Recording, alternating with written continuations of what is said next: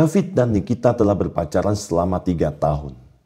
Awal perkenalan mereka dimulai saat David mengomentari salah satu status Instagram Nikita yang menurut David sangat lucu. Akhirnya mereka mulai mengobrol di IG. Dari situlah David mendapatkan nomor telepon Nikita. Kemudian hubungan mereka berlanjut lewat WhatsApp. Satu minggu kemudian mereka janjian untuk bertemu secara langsung. Sejak saat itu mereka mulai berpacaran. Tepat setelah liburan di bulan Januari, suasana tentang hari Valentine sudah mulai terasa. David senang sekali karena Valentine tahun ini dia sudah tidak jomblo lagi. David sudah tidak sabar menunggu hari itu tiba.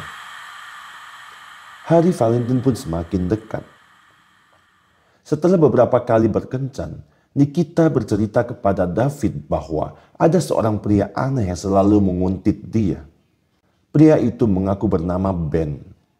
Umur Ben beberapa tahun lebih tua dari Nikita. Nikita bertemu dengan pria aneh itu secara tidak sengaja saat Nikita berkunjung ke kampus Ben karena ada tugas mata kuliah. Setiap kali Nikita berkunjung, Ben selalu menguntitnya. Namun, Walaupun takut, Nikita tidak pernah berpikir untuk melaporkannya ke polisi. Nikita sempat kaget karena pria aneh itu ternyata mengetahui di mana dia tinggal. Pria aneh itu ternyata juga mengetahui nomor ponselnya yang kemudian mengiriminya banyak chat yang membuat Nikita menjadi takut. Setiap chat dari Ben Nikita selalu mengabaikannya. Nikita bilang ke David, dia tidak memblokir nomor tersebut karena dia ingin melihat seberapa jauh Ben akan melangkah. David bertanya ke Nikita, mengapa baru sekarang kamu ceritakan itu semua ke saya? Karena belakangan ini Ben mulai menghubungi saya lagi, jawab Nikita. Menjelang hari Valentine, Ben semakin gencar mengirimkan chat ke Nikita. Namun Nikita tetap mengabaikannya, bahkan tidak membacanya sama sekali sampai chatnya menumpuk. Tetapi Ben tidak menyerah begitu saja. Melihat chatnya tidak dibaca, dia mulai menggunakan cara lain. Ben bahkan berani meletakkan sekotak coklat yang terbungkus rapi di depan pintu Nikita. Nikita tahu coklat itu dari pria aneh itu, karena di coklat tersebut ada sebuah surat yang berisi pesan, Aku harap kamu menyukai hadiah yang kutinggalkan untukmu. Melihat coklat dan pesan itu, Nikita memutuskan untuk mengakhiri semuanya. Dia kemudian membalas pesan panjang dari Ben yang tidak pernah dia baca sebelumnya. Nikita berkata bahwa dia sudah punya pacar. Dia minta tolong pria aneh itu untuk menjauhinya dan jangan mengganggu dia lagi.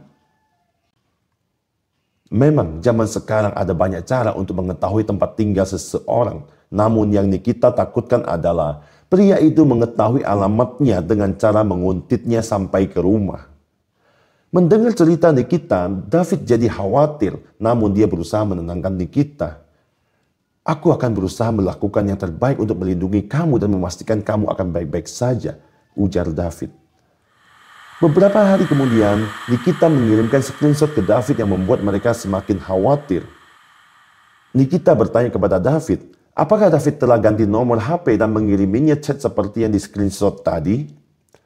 Karena dalam chat itu tertulis atas nama pacarnya David. Semua kejadian itu membuat David sangat marah. Awalnya hanya mengirimkan chat, kemudian menguntit pacarnya sampai di rumah, lalu memberikan coklat. Kini pria aneh itu berani memasukkan namanya dengan menggunakan nomor palsu. Sungguh pria anak ini sangat gigih dan menyeramkan yang berpotensi membahayakan pacarnya dalam pikiran David. Menghadapi pria anak itu membuat Nikita jadi stres. Kesabarannya hampir habis. Nikita memutuskan kalau pria itu masih berani mengganggunya satu kali lagi, dia akan melaporkannya ke polisi. David setuju dan dia siap menemani Nikita kapan pun dibutuhkan. Hari Valentine telah tiba David dan Nikita pergi berduaan untuk merayakan hari Valentine. Mereka pergi makan malam ke sebuah restoran mahal yang terletak di atas air. Mereka berdua duduk di luar karena kebetulan pada malam itu cuacanya bagus. Tiba-tiba mereka berdua memperhatikan seorang pria yang duduk di bangku luar ruang makan, dekat tempat parkir dengan topi yang menutupi wajahnya. Seolah-olah dia sedang bersembunyi yang sesekali melirik ke arah mereka. Nikita bercanda sambil berkata kepada David, Bagaimana jika itu adalah Ben? Mereka pun tertawa bersama. Tetapi kemudian pria yang memakai topi itu sedikit memiringkan kepalanya ke arah David dan Nikita. Saat David melihatnya, dia dengan cepat memalingkan muka. Dan beberapa detik kemudian, dia buru-buru bangkit dan beranjak pergi. David dan Nikita berhenti tertawa. Sekarang mereka mulai mempertanyakan, jangan-jangan benar pria itu adalah Ben. Tetapi setelah beberapa menit kemudian percakapan beralih ke hal yang lain. Setelah puas jalan-jalan berduaan, masih ada sisa waktu sebelum tengah malam. Mereka memutuskan untuk main ke rumah David yang kebetulan saat itu orang tuanya sedang tidak di rumah. Saat mereka sedang bermesraan di sofa, tiba-tiba mereka kaget karena mendengar ada suara di halaman belakang rumah David. David berkata dia mau memeriksanya dan Nikita pun mengangguk setuju. Lalu David pergi ke teras halaman belakang. Ia berharap itu hanya suara binatang yang kabur dan terpeleset karena kaget dengan kedatangan mereka berdua. David segera berjalan mengitari halaman, mencari tahu kira-kira apa yang menimbulkan suara tersebut. David sangat kaget karena dia menemukan seluruh tumpukan kursi yang bersandar di tembok rumah telah terjatuh. David berpikir keras, bagaimana itu bisa terjadi? Tumpukan kursi itu tidak mungkin akan terjatuh begitu saja jika tidak ada seseorang atau sesuatu yang menabraknya. Ditambah lagi, malam itu tidak ada angin kencang. Cuacanya bagus, hanya ada angin sepoi-sepoi. Karena penasaran, David memeriksa ke semak-semak yang mengelilingi halaman rumahnya. Kemudian matanya tertuju pada sosok yang tinggi di salah satu semak-semak. Leher David menjurus ke depan untuk benar-benar mencoba memusatkan perhatian dan melihat dengan jelas apa yang ada di sana. Ia pun melangkah perlahan menuju ke depan.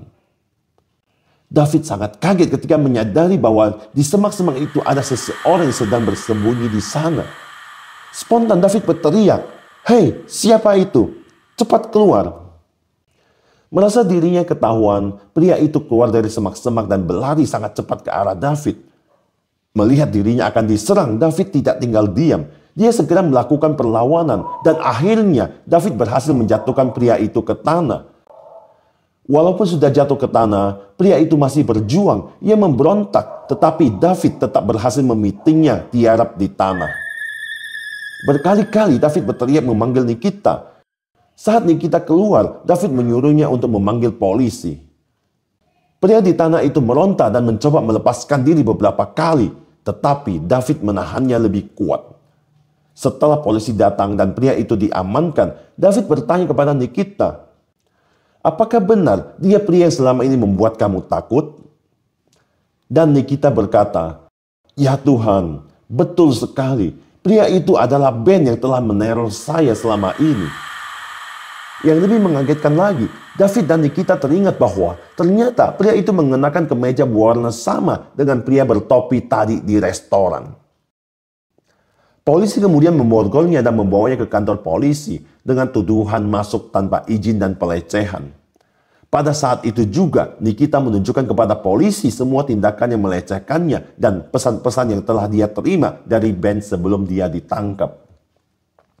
Nikita mengajukan tuntutan atas penguntitan dan pelecehan yang akhirnya membuat pria itu membayar denda dan mendapatkan hukuman peringatan. Nikita mendapat perintah perlindungan. Jika Ben berani mengganggunya satu kali lagi, pria itu akan ditangkap dan mendapat hukuman berat. Di mana Nikita, Ben adalah orang yang sangat menyebalkan. Untungnya, setelah kejadian itu, Ben cukup pintar untuk tidak mengganggu Nikita lagi.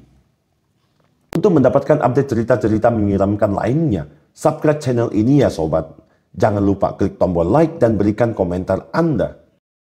Kalau ada yang ingin berkontribusi agar kisah seremnya diceritakan di channel saya, kirimkan cerita lengkapnya ke email yang ada di kolom deskripsi.